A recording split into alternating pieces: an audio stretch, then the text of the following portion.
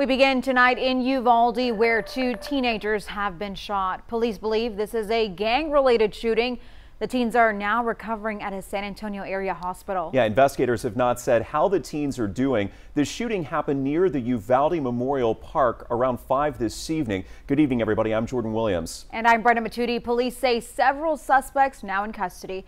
This comes just two days after the start of school in Uvalde. And as you can imagine, the city is on edge. Alicia Neves is in Uvalde tonight.